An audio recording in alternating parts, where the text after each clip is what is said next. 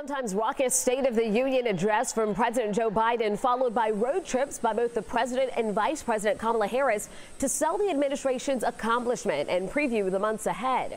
Joining me now is Chuck Todd, moderator of NBC's Meet the Press. Chuck, I am sure that you'll have plenty of State of the Union talk Sunday when you welcome the governors of Utah and New Jersey. Here in Atlanta, we saw Vice President Harris this mm-hmm. week as part of the post State of the Union blitz. So, do you think uneasy Democrats feel any better now about another run? For President Biden after what we saw this week? Well, I certainly, I can tell you in Washington they do. And there's sort of two different groups of Democrats when uh, that sort of are wringing, uh, wringing their hands. You had a group of Washington Democrats, the sort of the political uh, elite of the Democratic side of the aisle, wringing their hands for a while. And from the midterms to this point in the State of the Union, I do think he's won over the insider crowd. You don't hear any chatter of, oh, maybe he shouldn't, maybe he should do this. Um, that's gone. But the voters are in a different place, and we haven't seen any post State of the Union polling.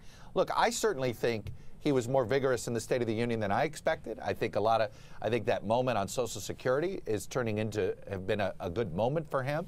So I certainly think it it, it should stop. Um, it certainly should stop the slow erosion he was having among voters who thought, who were starting to question whether he was up to this job still. Uh, look, that, that was a huge finding in our poll last month. The, the, the drop in people who think he's got the ability to do this job. Only one in four voters think it right now um, when it comes to his physical, his physical and mental uh, well-being.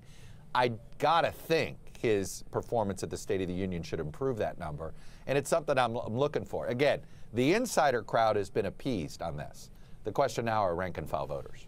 So on Tuesday night, some Republicans had no problem speaking out during that speech. One of the president's most prominent hecklers from yeah. Georgia, Congresswoman Marjorie Taylor Greene.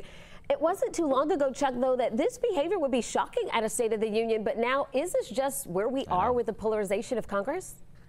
I kind of think it is. Uh, I'm a, and perhaps I'm numb to it because I got to cover cover this circus every day.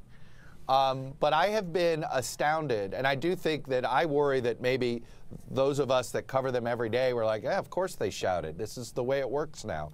Um, the number of people, anecdotally, that I dealt with this week who aren't sort of Washington types, who are like, what was that? That was rude. I didn't like it.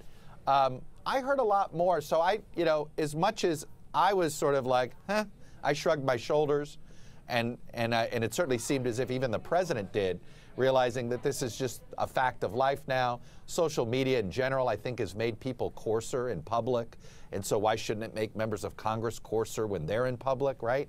So I think it is sort of a societal shift, but I am struck by the number of people, particularly older uh, people that I've dealt with, who still found it very, you know, even people that don't like Biden thought her behavior was wrong.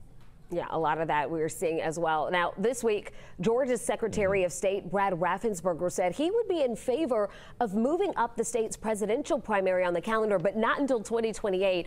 Are Democrats, specifically President Biden here, going to have their revamped primary calendar? Are they going to get that in 2024? Um, I, I don't know. And I don't know if it's going to matter. If Biden runs for reelection, it really won't matter, right? Because he's not going to have a serious contest. Um, so uh, I find that comment by Brad Raffensperger sort of sort of intriguing. He's like, I'll do it in 2028, just not just not now in 2024. Um, I'm I'm mildly surprised that Republicans haven't thought, you know, maybe the Democrats are right about Georgia and we ought to join them on this one. That it's too important of a state now in national politics not to sort of get in there early and start organizing early. So. Um, you know, that I'll be honest, if I were the Democrats, I'd be working that angle with Republicans. Hey, you care about this state too. Uh, and proving, you know, getting into this state early is good for you too. I kind of would be pushing that angle because it might might be a better way to entice uh, Georgia Republicans to, to go along with this primary calendar change. All right, Chuck, thank you so much. Remember, Meet the Press airs Sunday morning at 10 right, right, here on Thanks. 11 Alive. Chuck, thank you.